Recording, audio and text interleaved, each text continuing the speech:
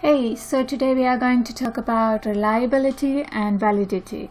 Reliability stands for an instrument that can be interpreted consistently across different situations.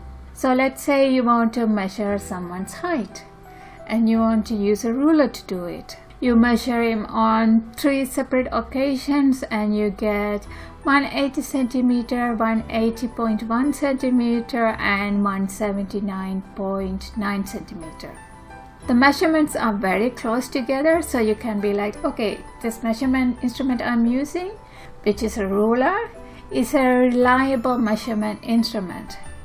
But let's say you get 175 centimeter one day 185 and 182 centimeter. In this case you can be like the ruler I'm using isn't reliable.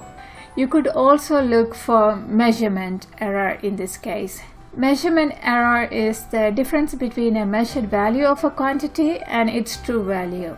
So in this case, let's assume the person in real life is 180 centimeter, but we are getting numbers way off that number. The error could be caused by the instrument you're using. In our case, it's the ruler, but it can also be external factors. Finally, validity. When we talk about validity, we talk about an instrument that measures what it sets out to measure. So let's take the ruler for example. We want to use it to measure a person's height. But instead of measuring the height, let's say it actually measures the person's weight. In that case, the instrument isn't valid because it's not measuring what it's supposed to measure.